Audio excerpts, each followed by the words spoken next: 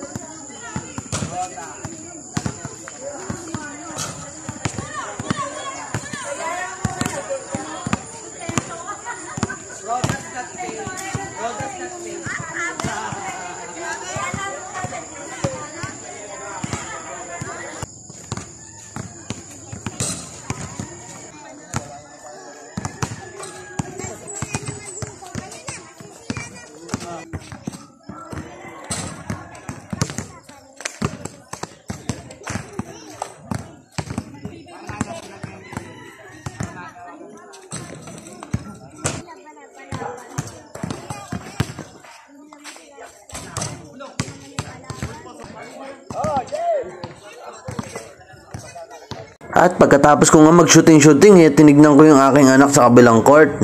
Pagtingin ko nga eh, uhaw na uhaw. Hindi malaman kung bakit. Yung pala eh, lintik palusutin tong kanyang kalaban. Talaga tong anak ko. Pinaamoy pa ng itlog yung kalaban niya eh. Sabi ko nga eh, bakit ganyan ang nilaro nyo? Abay, may mga ngamoy itlog dyan. Sabi ko nga, anak eh, tigilan mo na yan, aba.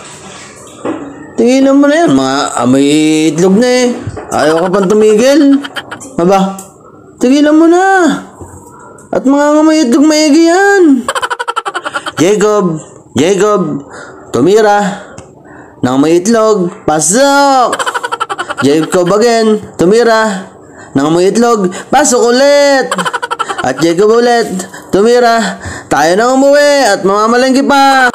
At pumunta na nga kami dito sa kaibigan namin si Undoy dito sa may phase 1. Ayan, mga sariwa po ang kanyang tinda at napakasasarap.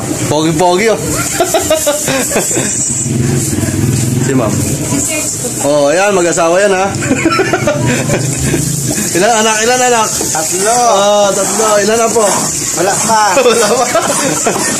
Kaya po ako dito namimili eh halos kompleto na po ang lahat ng bilihin po na inyong hahanapin dito po sa kanilang talipapa. Dito kasi di, kaya dito ako namimili abot kaya ang inyong budget.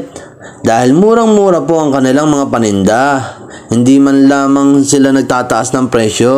Saktong-sakto lang po sa ating budget. At pag uwi ko nga, pinakuluan ko na itong maya-maya sa luya at tanlad. Ayan. At nang kumulo na nga, inilaglag ko na ang mga gulay. Gusto ko talaga umuapaw sa gulay. Dahil yan ang gustong gusto ko sa pagkain. Maraming gulay. Pagkatapos nga niyan eh, sumandok na ako ng aking kakainin. Ayan, habang mainit pa, sumandok na ako at kumain na nga ako. Napakasarap ng maya-maya, fresh na fresh talaga ang mga bilihin sa aking kaibigan na si Undoy. Pati ang mga gulay, fresh na fresh talaga. At kung gusto niyo pong mamalengke sa kanila, malapit lang po ito sa gate ng Phase 2. Katabi po ito ng opisina ng Imo Milty. Hanggang dito na lang po.